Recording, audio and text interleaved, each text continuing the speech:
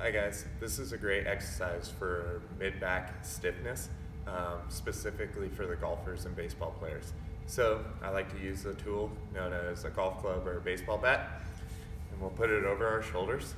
And what we'll do is with this front knee, keep it facing forward, and we'll rotate into it, crunch down on the ribs, breathe big into it, exhale, Come back up. Don't lose your spot. Rotate farther. Crunch down on the ribs. Big inhale. Exhale. Come back up. Don't lose your spot. Rotate even further.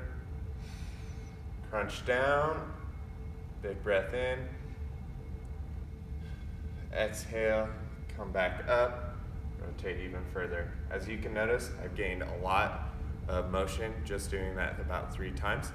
So do that um, both sides a couple times before you go out and play around or before baseball practice, before a game. Um, it's a great way to open up the thoracic spine.